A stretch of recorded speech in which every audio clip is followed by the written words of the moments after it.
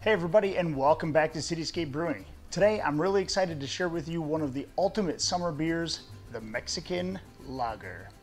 This couldn't get any more of a summer beer. It's clean, it's crisp, it's light, and it's got a, just a hint of lime flavor, so you don't even need a wedge of lime in this one at all. So think Corona on the beach, but you brought the limes already in the beer. We're gonna go through the whole recipe, right down to tasting this one and checking it out. Right after you guys hit that like and subscribe button, grab yourself a beer, and let's get after it.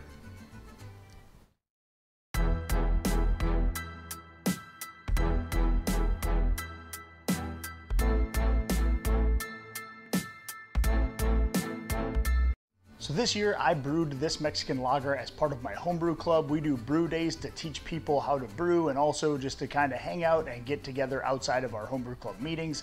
This year I themed mine after a Mexican lager, which I planned to do around Cinco de Mayo. That didn't really pan out. I had to go a month later. And so I'm calling this beer Ocho de Junio, which is June 8th, the day that I brewed it. For those of you who don't habla español, El Nino is Spanish for the Nino. At the event, we had all kinds of tacos and nachos and Mexican food. We had the fiesta happening, and at the same time, we were brewing this awesome beer. This is a really easy one, especially for those who are just starting out with all grain brewing. Mainly because this is one that you really don't need to add a whole lot of water salts to.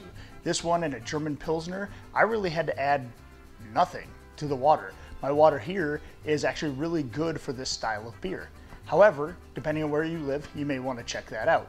And I have, as always, the link to that video to show you how to do water adjustments and how to check the pH of your mash tun in the video description below.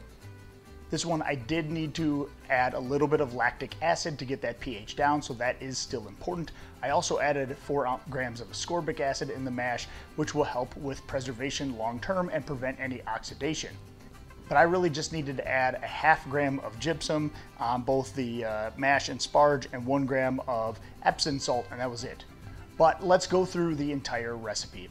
So for this one, it is a Mexican lager. So you're gonna need to use something like flaked corn in order to get that lighter color and still have a lot of those malts up. Turo and Pilsner still have between one and a half and three Lovibond number, which is what gives the color or SRM to your beer.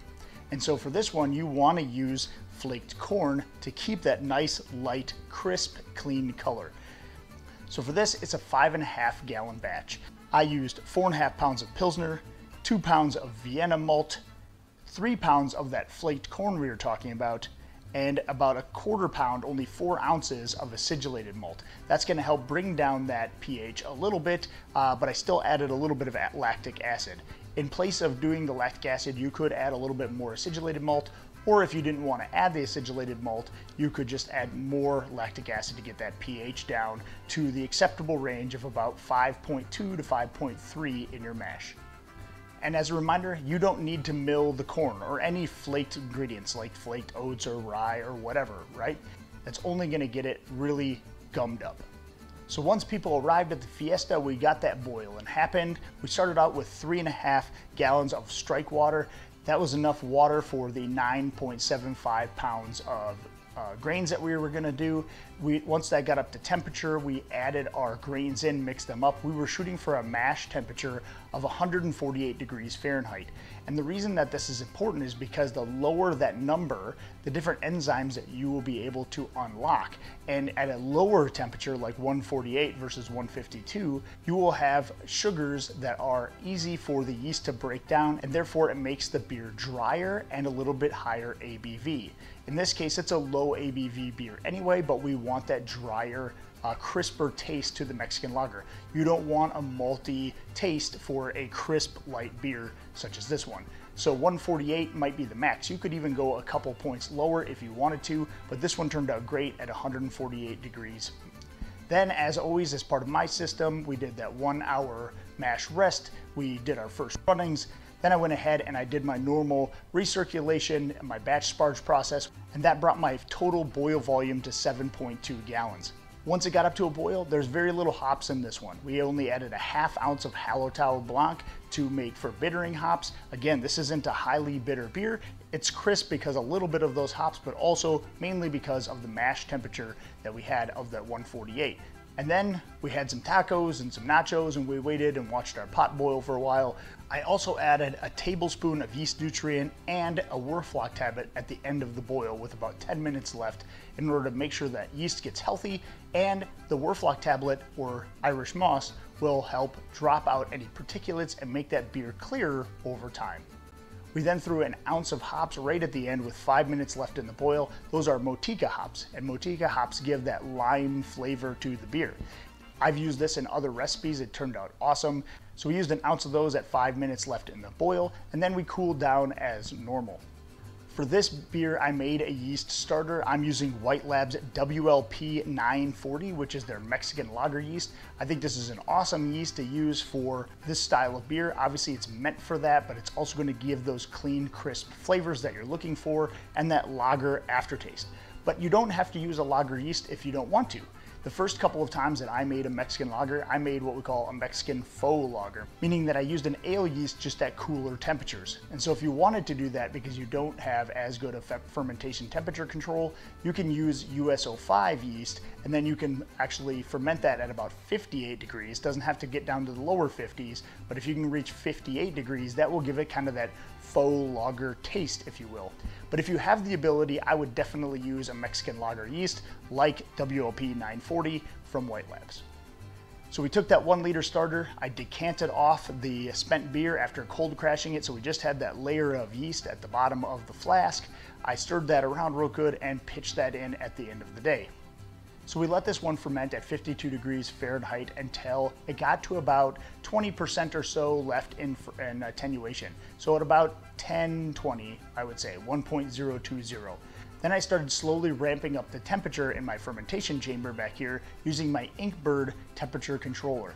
And so I can do this no matter where I'm at by just going to the Wi-Fi app for the Inkbird and changing that temperature. So in this case, I was actually at work when I ended up changing this one. So I went in, I uh, turned it up a couple of degrees.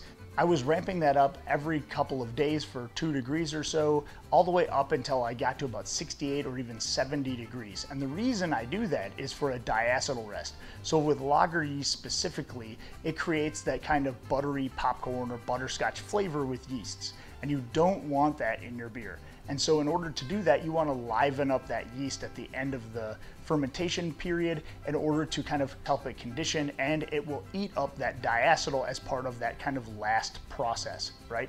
And so if I were to keep it in the 50s and then just started cold crashing it, you could leave behind some of those butters, buttery popcorn or butterscotch flavors, which would not make this a nice pleasant beer. Once I was sure that I had a good diacetyl rest for a couple of days, I went ahead and actually dry hopped this beer. And I wouldn't normally do that for a lager. And so this is pretty unique, uh, but I went ahead and dry hopped with another ounce of the Motueka hops. And the reason I did that is just to make sure that when I was drinking this, I could taste that little hint of lime.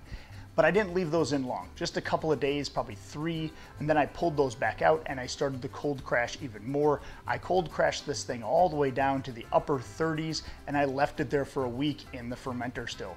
Following that, I transferred it into the keg, I put it on gas, and I went ahead and forgot about it for several more weeks. Now it's been sitting in the keg and has lagered, which is a German word for stored, for an additional four weeks. And so this has been uh, conditioning for four to five weeks now after fermentation, and that's a pretty much a sweet spot.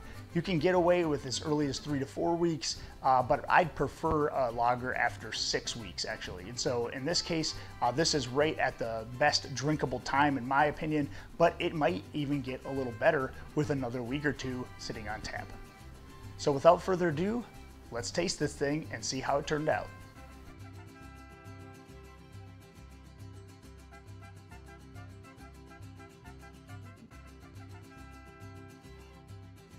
The one thing you notice right away is absolutely how crystal clear this beer is. It is super clear. There might be a smidge of cloudiness left that will hopefully drop out, but it's hard to tell because this glass is really, really sweating in my garage. It's because it's a little warm in here. But other than that, it is a very crystal clear beer. I'd be happy getting this at any brewery whatsoever or out of a, or out of a bottle or can. But I expect this to be even clearer in the next couple of weeks as this has another week of conditioning left. It's got a nice, it also has a nice white frothy head on it, and it does maintain that, uh, that frothy head and lacing as we drink this down the glass. But let's go through smells and see if we can pick up any hints of those limes that we were going for. So I don't get a whole lot of lime uh, aroma um, in this one.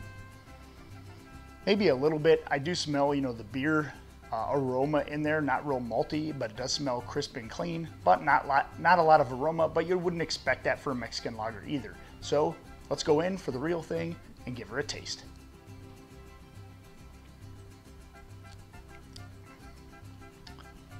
And that is a solid summer beer. It's clean, it's crisp, it is crushable good. And you get that hint of a little bit of hint of lime just at the back end, like we were talking about. Um, in this one, I added two ounces of Motueka hops and I just get that little hint of lime flavor, which is what I'm going for. None of that over zesty or soapy flavor like I'd gotten with the lime zest when I used it in the previous beer. If you haven't checked out that video, don't add the lime zest or you could really be in a problem. I'll have that linked in the video description below. But I had to dump that beer because of the lime zest I added. But I really like the Mexican lager yeast that the flavors are coming out in. You get that lager flavor, but it's not overpowering and it lets the rest of the beer shine through. That crispness, you get that little hint of bitterness, and you get the little hint of limes, and it's not covered up by an overly lager flavor, which I think is perfect. Again, summer beer, I'm gonna be crushing this one all day long. And I could even add a, a, lime wedge in here also if I wanted to, to kick it up a notch even further.